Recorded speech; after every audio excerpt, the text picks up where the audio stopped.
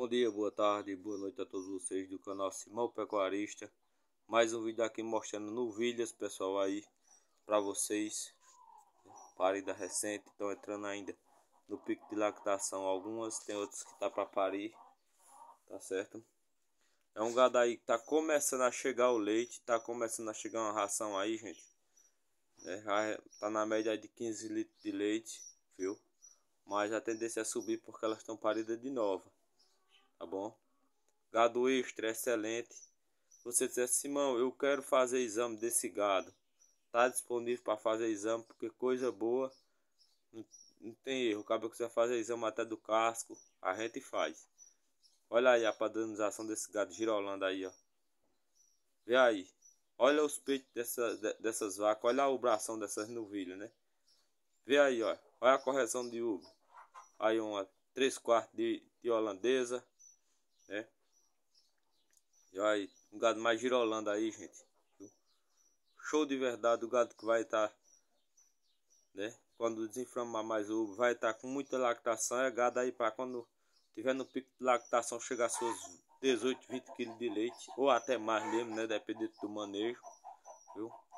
Simão, e esse gado tá localizado aonde? Esse gado tá localizado em Águas Belas, Pernambuco. A gente vai mostrar. Mas Simão, eu queria mais gado tem mais gado. Tem esse gado aí, mas se você quiser até sem gado, dá para se arrumar, tá certo? Um gado todo manso aí.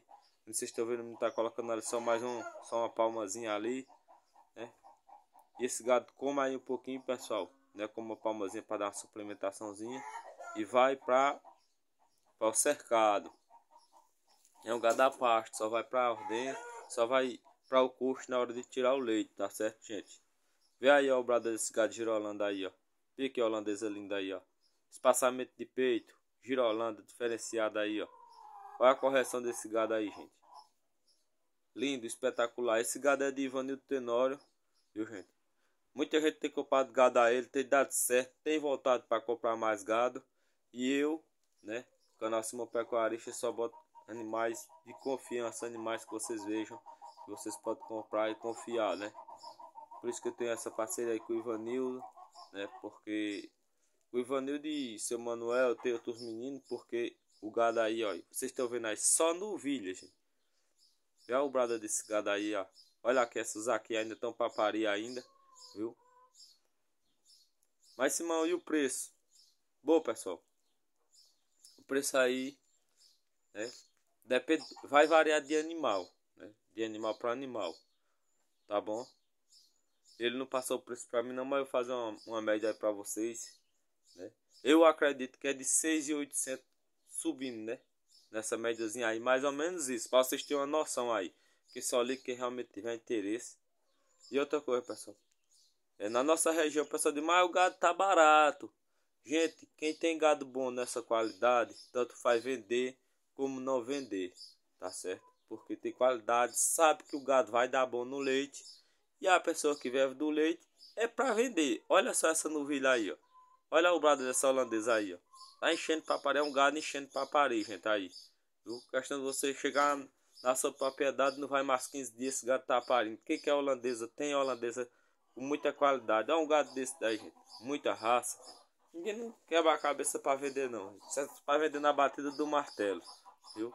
Imagina você aí, na sua propriedade, você tem um gado nessa qualidade, seja gado macho, seja um gado fêmea, com muita qualidade, com muita raça, com genética, você vai vender barato, não, tanto faz vender como não vender, que é coisa boa, coisa extra.